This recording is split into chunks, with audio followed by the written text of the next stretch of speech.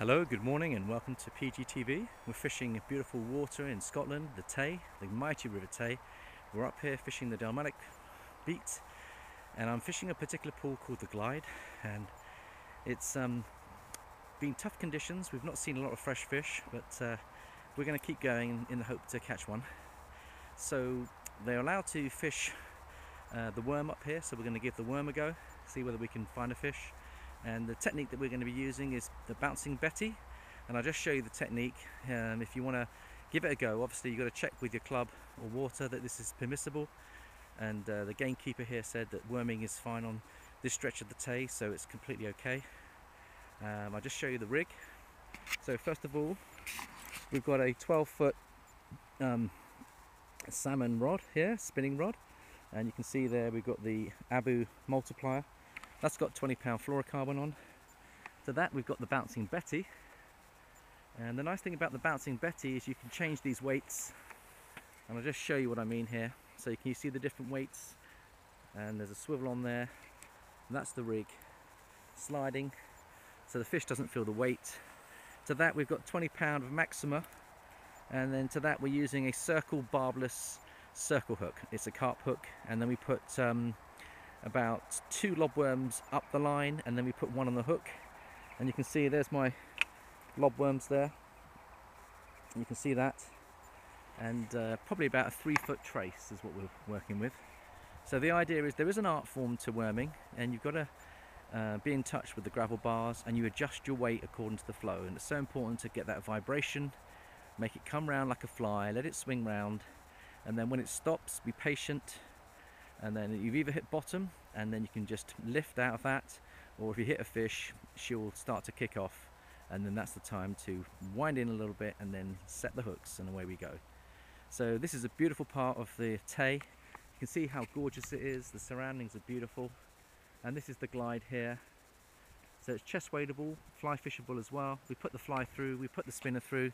It's our final day. We've not had a fish yet but we're hoping that maybe the worm might salvage our trip so over there you can see there's some lovely, lovely water there. The hospitality is excellent here. Colin, who's the owner here, is very, very helpful and Andrew. And we appreciate their hospitality and their help and we'd highly recommend them to come over and give it a go. They do cottages as well, so you can book, he'll do you a deal on cottages and on the fishing and uh, it'll be very good value for money. So I'd highly recommend um, giving Colin a call. I'll put the number on, on, on, the film for you guys. If you want to come up and give it a go, then uh, I, would highly recommend it. Okay, let's get on with the action and see how we get on. Okay, over here we've got a very thin neck. We're in September, so we're autumn fishing here for the autumn springers. Sounds like a con contradiction in terms, but the autumn salmon. And there are some big silver bars that come up in the autumn here, up on the Tay. So this is the pool that I'm going to fish first as you can see it's uh, got a lovely bit of flow here. Now you might look at this and it might look like a washing machine but underneath there's a nice flow through here. And we're going to fish just up here. So you can see the V here. See the power coming off? There's a 40 foot hole through here. And the salmon like to sit on the edge of that flow. There's a very fast bit of water. They've got to work their way up. They either rest here or they rest above and uh, the only way you can really fish this is with a, a bouncing Betty. So we're going to cast onto the edge of the stream and we're going to lift the rod up and we're going to show you the technique. We're going to bounce it through taking spots around here. It's well worth covering that. Anywhere around here all the way down. And we'll cast it out further and further. We start with a lighter weight and then we adjust upwards as the flow dictates. So I'll just show you how it's done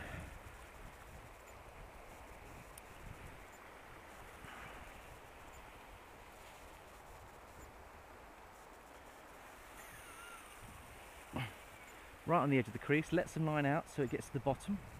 And when it's on the bottom, we don't put the ratchet on, we literally feel it with our thumb. And now I can feel it just bumping bottom. You can see the vibration on the end of the rod.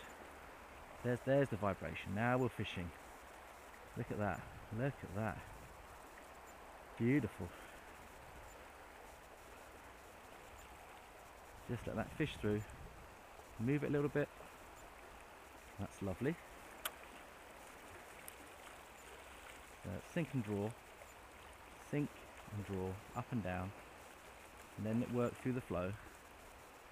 So when you get a bite, it can be a very delicate bite. You don't strike. You actually just let it take line, then you wind up and then you strike into it. And that's working lovely.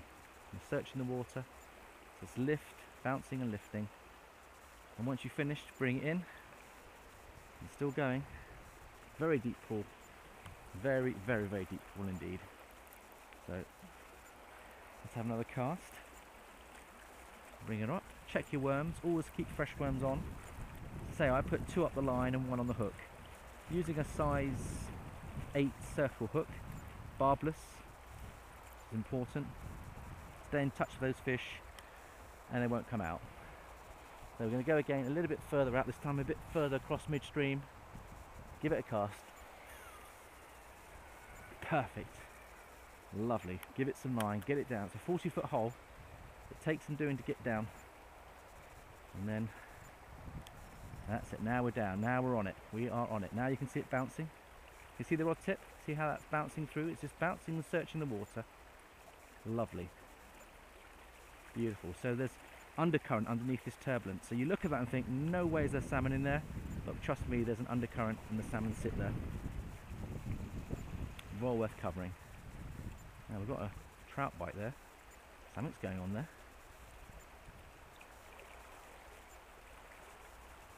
Could be a trout. Just going to wait patiently. If it takes line, then you want to just take up that line. Yep, something's on this. I can feel a vibration. So we're going to wind in and then we're going to set the hooks. Wind in, make it straight, and then up she comes. Fish on, fish on. Fish on, fish on. We've got a salmon on here, on the tay, and it's a good one. It's a good fish. Let's have a look at her. No, it's a good fish. Here he comes. Here he comes. Oh yeah. It's a beautiful salmon. Oh, he's head shaking. He's head shaking. Oh, it's a good fish. Oh, he's taking me out. He's head shaking. Look at that go. On the back Eddie. He's broken surface. Right, let's play him up. Oh. Playing him upstream. Let's bring him up. Here he comes. So we're fishing a multiplier, 12 foot rod, and this is my first ever session worming, and we've got a good salmon on here, and it feels big, very big. Here he goes, up he comes, up he comes, up he comes. Oh. So the gilly's just gone to get my chest waders. I put on a slightly heavier lead and now he's just tucked down here on the stream and he's he looks like he's a 25 pounder. It looks big. It's a big fish. I can see him. I don't know if you can see him but I can see him with my my glasses. And that's no ordinary small fish. That is a clonking great big fish. It's pretty big. Look at the size of this, 20 plus. Oh, could be bigger. Always head shaking. Oh, jump out the water. Oh, this is a good fish. Oh, very good fish. Whew.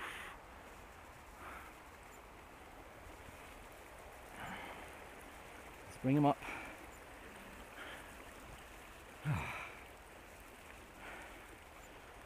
Oh, good battle. It's a good battle. Oof. My goodness me, that's a good fish. Wow. I might have to give Richard a call. Call Richard.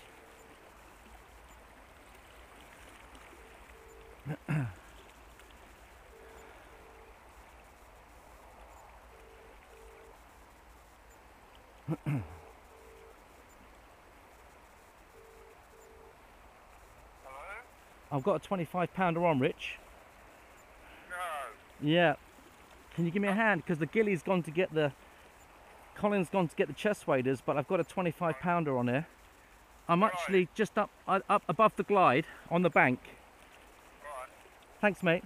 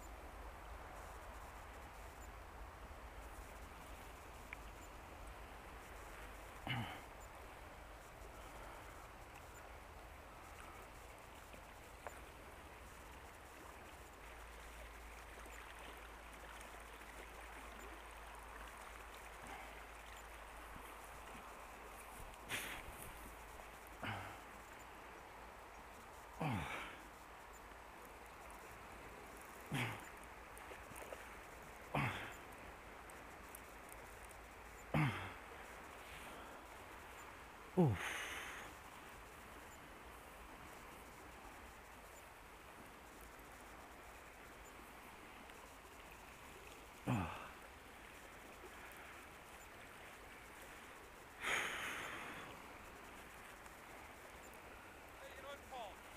I've got a 20 on.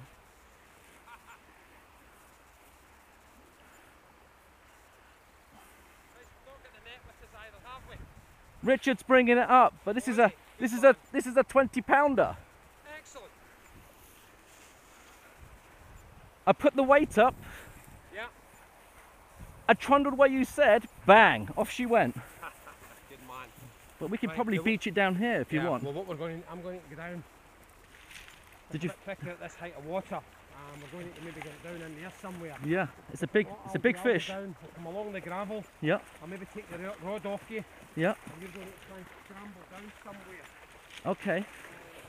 I mean, I can get my chest waders on if you want, Oh no, you won't need to hear. but Richard's got a net. He's coming with a net. Come here. I'll just get down here, down.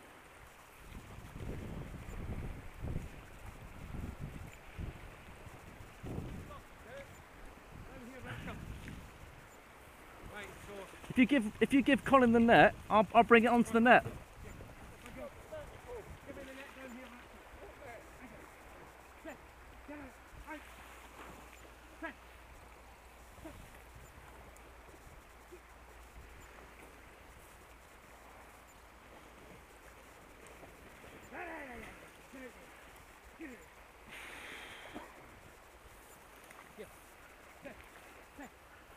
Colin, I'm going to walk him up to you. And we could probably land it in this flow here. I'm going to walk him up. Good. It's a good fish. Look at the size of it. Look at it. Here she comes.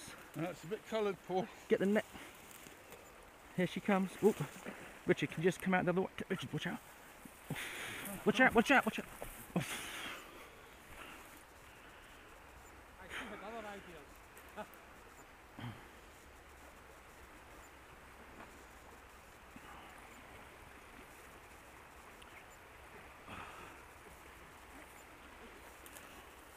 been on for about 15. It's been on for about 15.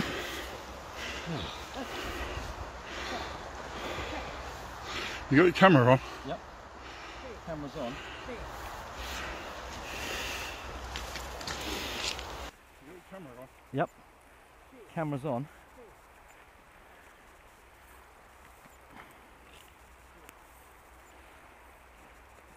Right.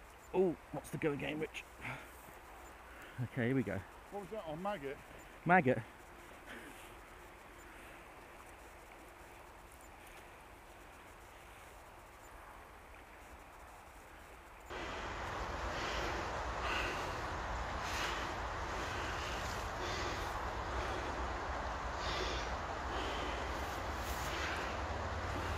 Here she comes.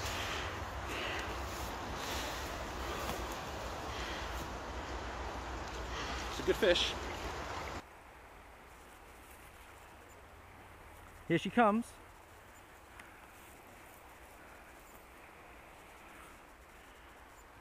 It's a good fish. Colin, she's all yours. Well done, sir. You keep it in the water, I'll come down to it. Yeah. You get down a bit there, Paul. 18 pound. Yeah. Good fish. Right, I'll get my chesties on. Good fish. Right, I'll get my chesties on. You don't need chesties on, Paul. Oh, can I get down with my willies? He's got wellies on. You get- yeah, you'll get down here, Paul. Okay. And you'll just need to sort of slide off the bank onto the gravel here. Okay. Yeah, just sort of sliding your bum onto the gravel there. Oh, she's, is she a henfish? Yes. I'll bring it up. Well, she's is she a henfish? I'll tell you what, thing, that method, Could you give me a wee bit of line so that I can walk her up to... that method is unbelievable, isn't it? Oh, she's a good fish. Yeah, there you go, Paul. You got her? Yep. I'll get, I'll get some. Thank you. Just give it some line, uh, Richard. Thank you. Okay, now, have you got disgorgers? Uh, I've got forceps. you got forceps to find that hook out. Yeah. Okay, I've got the fish. That third one I saw you getting it.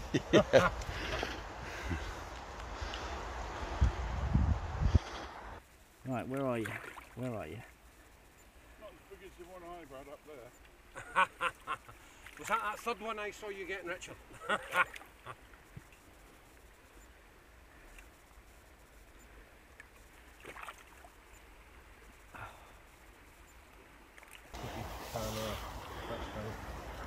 Perfect.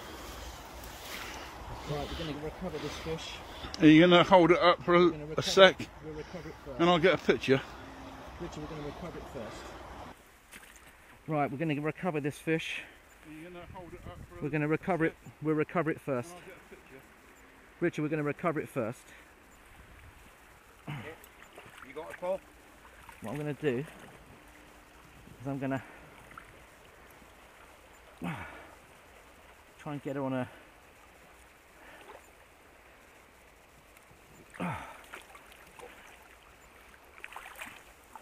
Oh yeah, she's powerful. What I'll do, If I ta- if I take her, yeah. yeah, you got her. I've got her.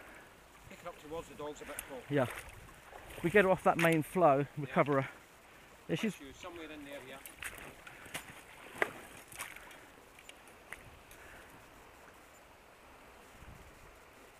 my first tay salmon.